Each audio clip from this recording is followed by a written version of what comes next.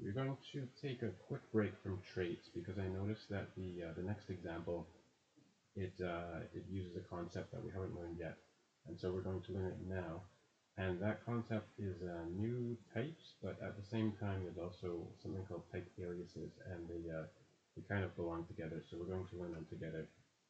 And uh, we'll start with type alias because it's really easy, and it's just a, uh, a different name for the exact same type, like literally exactly the same. And um, I'll show you, uh, it's really easy to declare. You write uh, type, and let's say we want to, uh, you know, uh, make something called uh, my string, and uh, it's, it's a string. And um, when you do that, it'll be exactly the same as a string from from Rust point of view. It's there's no difference. This is only um, only to make it readable for us, or you know, give ourselves a hint about something. So you can see uh, it's a uh, string from, let's see, this is uh, some writing. So that's a, uh, that's a regular string. And then let's make y a my string. And then we'll print them and uh, compare them. Let's say x equals y. And then this will show you that uh, this will be true. And that is because from Rust point of view, there's no difference. So you're not changing anything on, on the back. And the uh, the most common use for uh, for a type alias is when you have a like a really long signature and uh, you you hate looking at it every time you hate typing it, and you need something that's readable. And uh, I'll show you an example of that. So let's say we are writing this function that uh, returns something, and this something is going to be a vec of a vec, of a vec, of of an array with uh, four numbers in it. And what's that signature? So we can uh, we can just tell the compiler to tell us, and it says, hold on a second, this uh, I think you're trying to return this, and that is exactly what we are trying to return. Um, except for this, uh, instead of just a random integer, we'll choose one because we have to.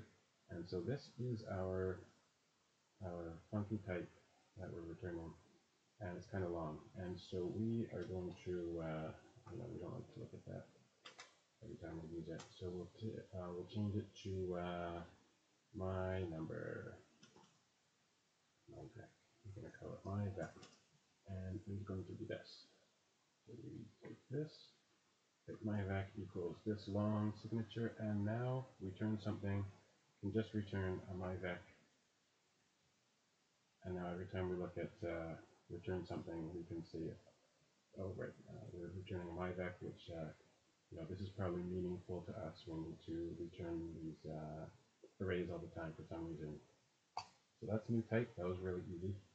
And, oh, sorry, type alias. And uh, now let's look at new type. And new type, you, it's, it's a tuple struct basically. So you, um, it's kind of like a workaround because when you have a tuple, you know, you access the first item with uh, dot zero, and when you do this, you have to, uh, that's how you get inside it.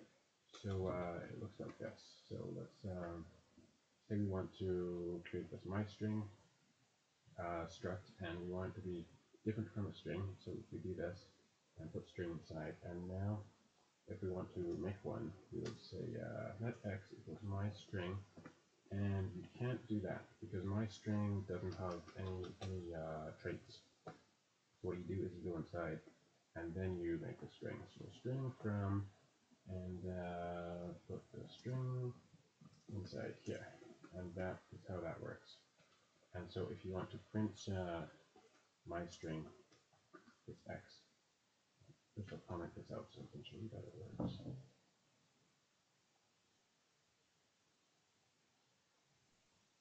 It's going to run in time, yep. And so it, uh, you know, it created it, said we didn't use it, that's fine. And so if we try to print it, it's not going to work because uh, we were trying to print a my string, which doesn't have display, doesn't have this and that. But that also shows you that um, that you can implement uh, traits on this, which is uh, which is where new type is kind of cool because you can't uh, you can't do like a implement display for uh, string. You can't implement uh, traits on on you know, types that other people have made.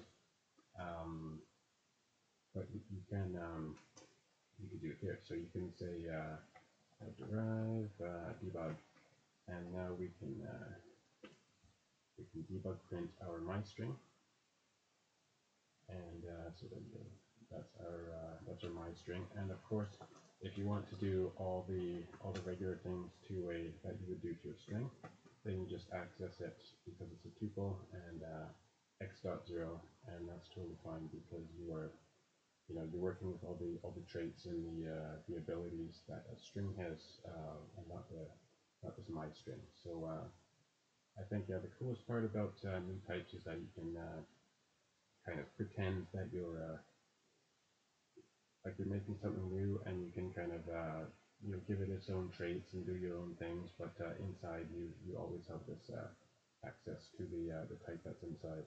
So that is how that uh, works and in the next video we're going to uh, see that in the example